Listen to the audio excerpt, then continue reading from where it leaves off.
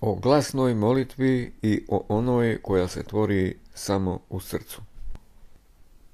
Kada nas pritiska velika tuga, mi možemo nešto glasnije da obavljamo svoje psalmopojanje.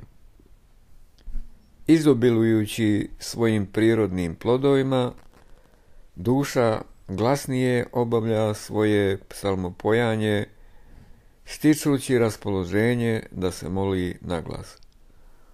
Ukoliko pak osjeti dejstvo duha svetoga, ona sa punom radošću i sladošću peva i moli se jedino u srcu.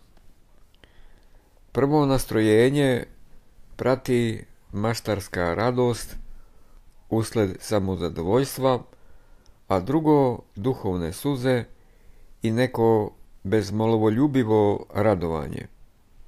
Zadržavajući glas, sećanje ostaje toplo, sazdajući neke suzotvorne, samo u sređujuće pomisli.